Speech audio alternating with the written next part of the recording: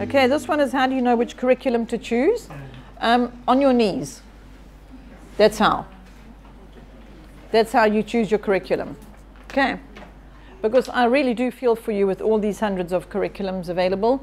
You've got 50 curriculum, you're swamped, you don't know which way to turn, where to look, or anything else. How about this idea? How about not looking at any of them, trusting God, waiting, praying, and seeing what comes up?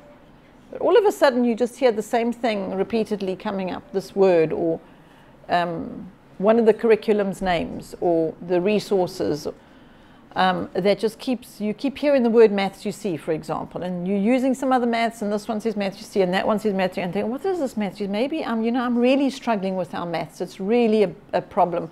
Maybe I should look at this. Before you go and look at it, just pray. Because just check. Because this is when I would say that is a good idea to move to something else, as if it's not going well with what you've got.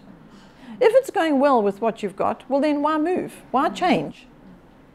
However, if you've spent 10,000 Rand on something and it's going really badly, like the pie, you don't carry on eating it. You, you put that away. It was a very expensive lesson. You might be able to use some of those resources, you know, feed them back in somewhere along the line, but rather stop using it. I'm not saying go and spend a whole lot of money on something else. I'm saying stop using the thing that is causing strife in your home. Because maybe it, the problem, maybe, could be, just saying, could be you. It could be. It may just be that the, it's not the curriculum's fault. One mom phoned me and told me that Lattle doesn't work for her, and it doesn't work for her children because it's this and this and this and this, and I said, oh, that's interesting. Do you know, how many years we've been providing Lattle, and you're the first phone call of somebody to tell me that. So now I'm really curious. It didn't take much longer to discover why Lattle was not working for them. I had to say to her, I'm sorry, but the problem is not Lattle. The problem is you. That was the fact.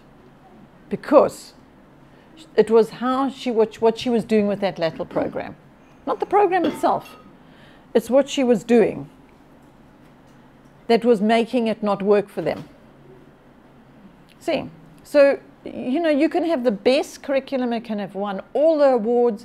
You can decide to stop using this one and start using that one, and the one with all the awards didn't work for you. Because either you weren't working with it properly, or it wasn't correctly suited, or well, it wasn't the right uh, fit for your family. And so, how are you going to know what's the right fit? to me, the only way you're going to know that is by checking with him.